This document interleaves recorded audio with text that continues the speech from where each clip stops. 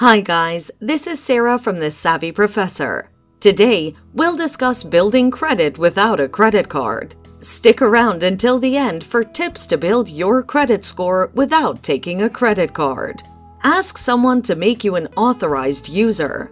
This is the easiest way to build credit without a credit card. Ask a family member or your significant other to add you as an authorized user on their credit card. Doing so adds their payment history to yours. With this in mind, ensure the person consistently makes payments, or your credit score will plummet. You can work out a shared payment plan to help offset the bills and contribute to building both your scores. Take out a credit builder loan. A credit builder loan is just that a loan designed to help you build credit. Some institutions offer this kind of loan where they'll hold the money in a locked account until you're done making payments over a specified period. Once you've made the payments, you'll receive the loan money minus the applicable fees. The institution then reports your payment history, thus building your credit score. Obtain a secured loan.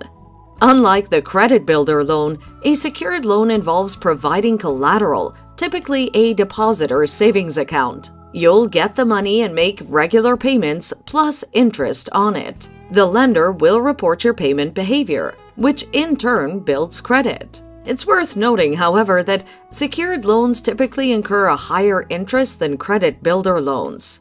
Repay existing loans and report alternate payments. An excellent way to build credit is to repay existing loans. These could be student and car loans. Paying these off improves your credit score and gets you out of the debt trap.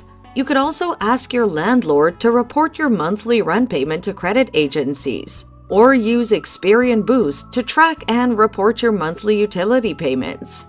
And that's how you build credit without a credit card. I hope this helps. Feel free to leave a comment, like, and share the video. Till next time.